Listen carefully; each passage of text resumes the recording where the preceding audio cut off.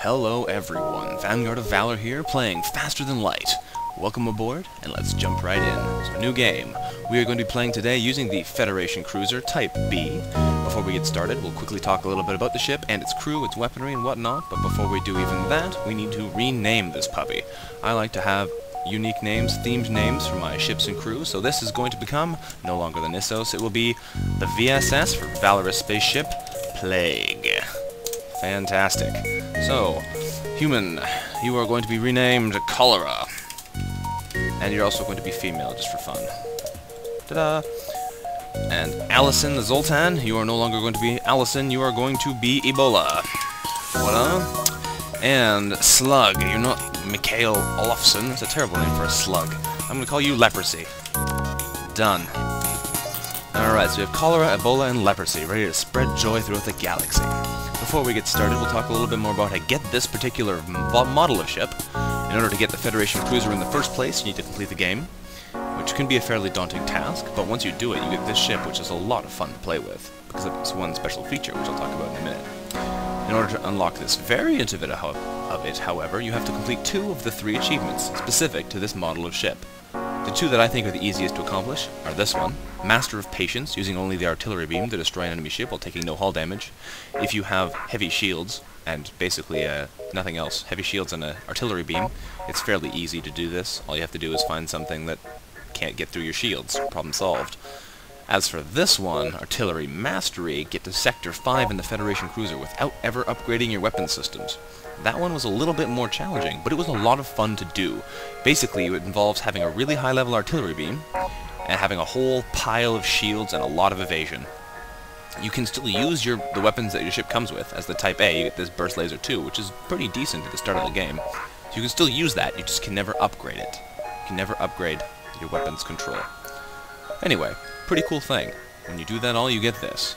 It has its own advantages and disadvantages, in my opinion. It starts off with many of the same systems. In fact, I believe it has all of the same systems. It's got basic shields, engines, oxygen, weapons, health, helm, radar, and doors. However, it has one additional level starting on your artillery beam. A really, really powerful laser with a long recharge timer. You basically has its own room, so other than that, it always runs. It also auto-targets, which is a little bit less than ideal in some cases, but hey, it's pretty good. You also start with two weapons instead of one. Instead of a Burst Laser Mark II, which fires three one-damage lasers, you start off with a Dual Laser, which shoots two shots which do one damage each, and a Leto Missile Launcher, which has to be the smallest missile launcher I've ever seen in this game. Takes one power, shoots one missile, and it does one damage.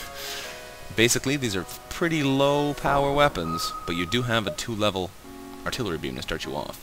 The other big disadvantage is that you start off with only three crew instead of four like in the Type A which means you can only power three of your systems. Another thing to watch out for is the weird layout of this ship. All of your uh, your main airlocks are on this side, so if you want to get oxygen out of these rooms, it's going to take a couple rooms to get there.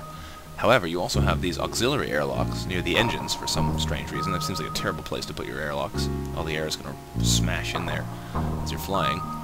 I guess not, that's not how air works. Anyway, point being, these rooms are a lot easier to access because they have these close by things, but your weapons and your shields are be a little bit more susceptible to, to fires. But that's enough talking. Let's jump in and fly this sucker. We're obviously going to be playing on normal. And... Allons-y, as the French say. Here we go. So the data we carry is vital to the remaining Federation fleet. We'll need the supplies for the journey, so make sure to explore each sector before moving on to the next. But get to the exit before the pursuing rebel fleet can catch up. So, in case you don't know, we are carrying information vital to the survival of the Federation. Before we fly off on our journey, we need to make sure our main positions are manned. So Ebola, you are now in charge of weapons. Leprosy, you are in charge of shields. Actually, I want I want leprosy in charge of weapons. I think that's awesome. No, no, leprosy is a skin disease. I guess it should be in charge of uh, shields. That's appropriate. Ooh, okay. So, ooh, interesting, interesting. We also have two additional energy bars because I have one in here, which means we can double charge this and double charge this. Hmm, interesting. Because of the way the uh, the Zoltan 1 energy bar bonus in the room he's in works, you can actually power all systems at start. That's pretty cool. Not many other ships can do that. So, we're powering our weapons and our shields because I feel those are the two most vital things to have powered at the beginning, as well as the helm, which you must have powered in order to be able to really play. Jump or evade. So we're not going to worry about that. We're going to jump. Here's our star map. We're working on getting over here, and obviously we're going to take the longest possible path to get there. So we're going to start off... We could go this way, I imagine, but I want to go over here. No, let's go this way. Looks like we'll be be able to take more jumps. Let's go. We start off with no drone parts, but that's okay because we have no drone system. Jump leads to a completely unremarkable binary star system. There is nothing else around. Let's jump again. Here we go. Show me something. I want to see how this ship fights. Can you fight the plague? Not many can. You detect a rebel scout on an attack approach to a small refueling outpost. Their weapons are charged, but they're not firing yet. We can intervene to defend the outpost or avoid the conflict, but no, we're gonna fight them. The rebel responds to your threat. I don't know who you are, but no one defies the rebel fleet. They move in to engage. Excellent. This is our slug bonus here. We can see where enemy life forms are. Neat stuff. We are going to try and take out their weapons with our Leto missile. See how that goes. And once that happens, we're probably going to hit them in the... Yeah. Oh, she hit me right in the command console. Right in the shields with our lasers. That's actually that was a pretty decent laser.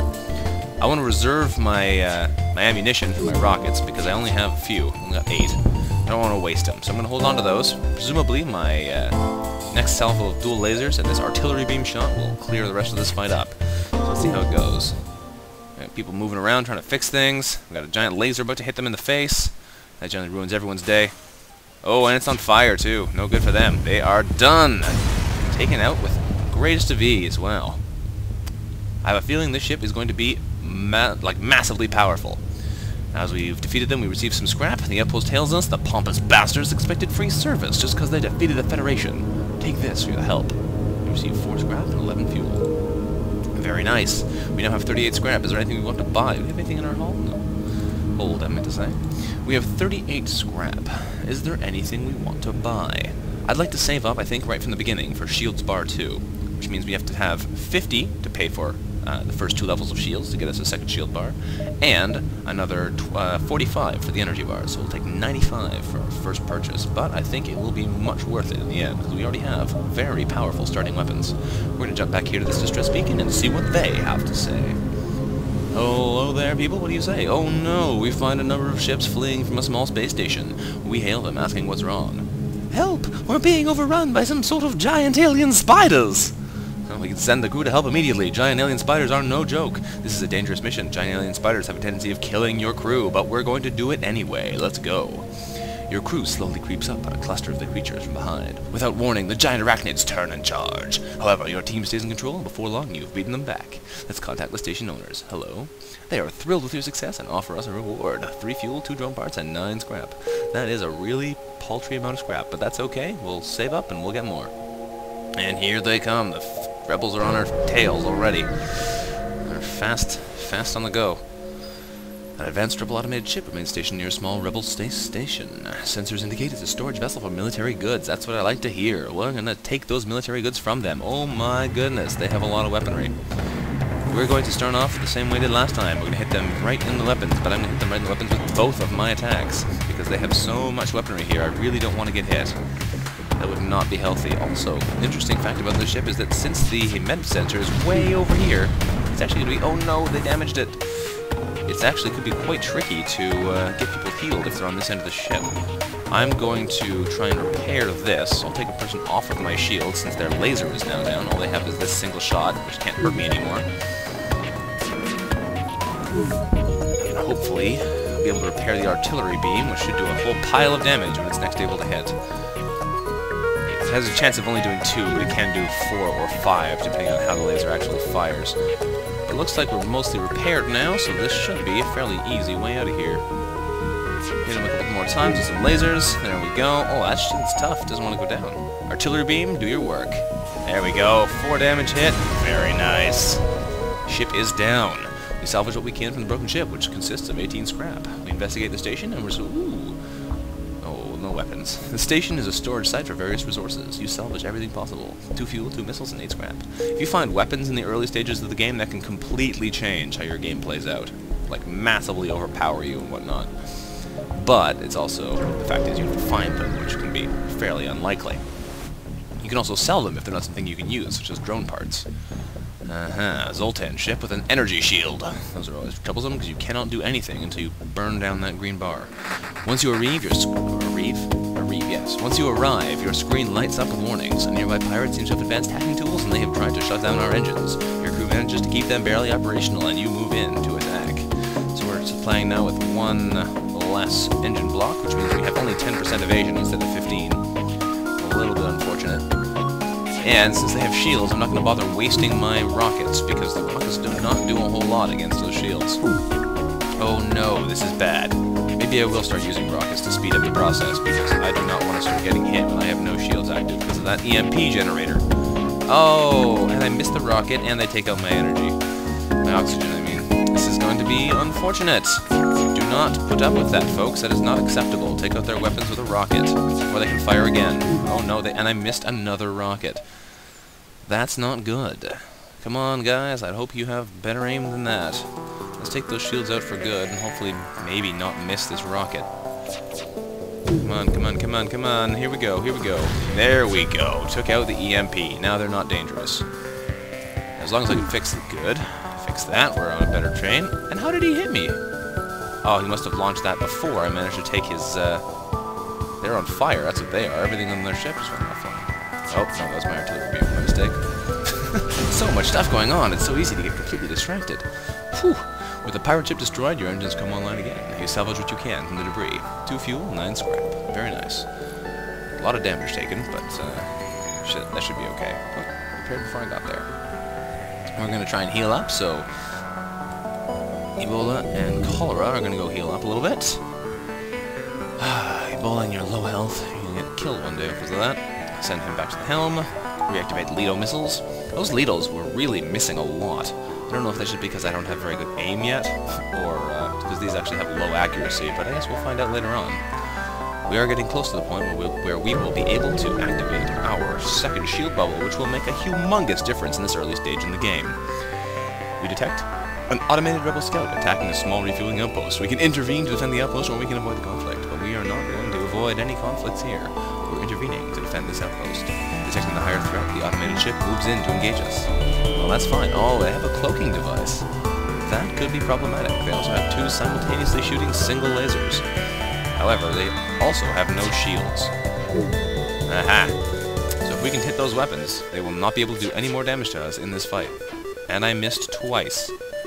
Man, this, uh, the aim on this ship is terrible.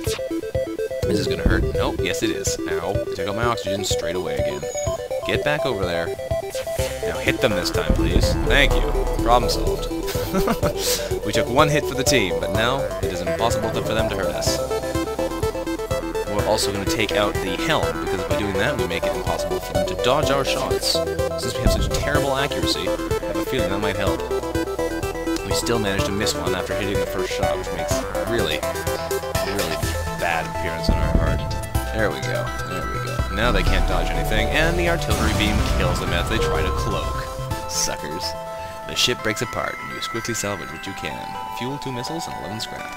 We're almost there. Oh, here we go. The outpost hails you after the scout was destroyed. Thanks for the help. We've been harassed non-stop by those scouts. Take this on the house. Three fuel, one missile, and 15 scrap. Fantastic. We have a whole pile of fuel, and we're going to spend some scrap right now. Upgrading two shield bars, buying two power bars, and there we go. Level 2 shields, online. Much nicer. Not a big visual effect, but man, that makes a difference this early in the game. Alright, let's jump ahead and see if we can wreak more havoc on this poor unsuspecting sector. The nearby planet shows signs of habitation and great beauty. A rudimentary automated planetary defense system is looping its message into space. Warning, quarantine level 5 in effect under FH8 Act 22, Article 11.2. Warning, quarantine level 5. Well, looks like we've already been here. Plague has already reached this planet. Fantastic.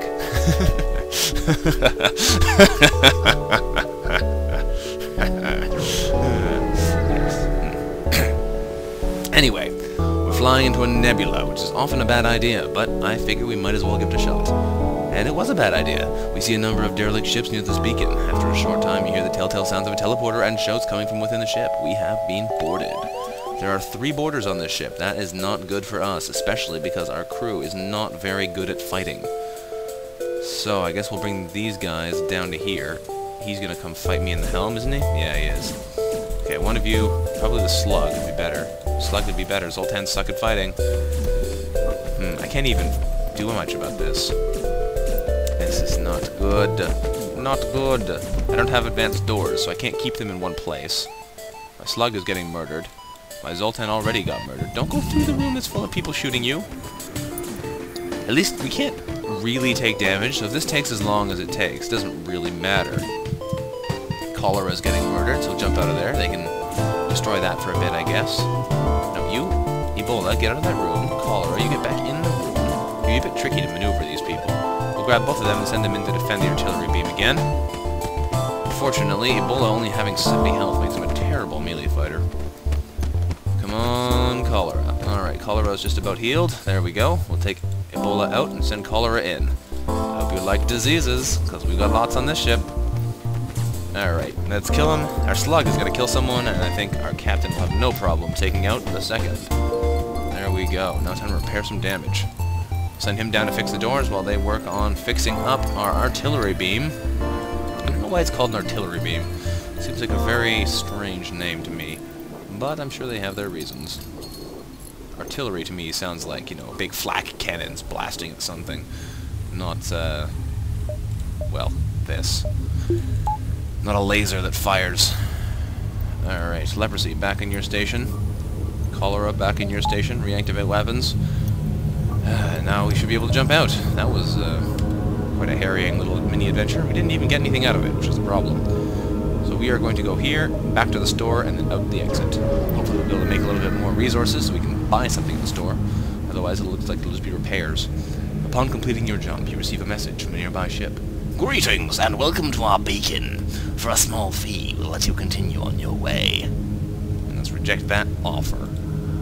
Too bad, you'll regret this decision. They're full of slugs. That's okay, we got slugs too, so we know how to deal with slugs. Shoot them with missiles. There's a lot of different ways you can attack the enemy ship to bring things to your advantage, but for the moment, we just want to take out their weapons. They can't even really hurt us. We have two shields, so nothing they can do can really give us any harm. But it's never nice to have them shooting at you, so I'm just going to shoot that first shot at the weapons, just in case. Now they're off the helm, so they cannot dodge. And now they're back on the helm, so now they can't dodge. Alright, their oxygen being down is going to start giving them problems soon, I expect. We can take their shields back out if we can, because that would be fantastic.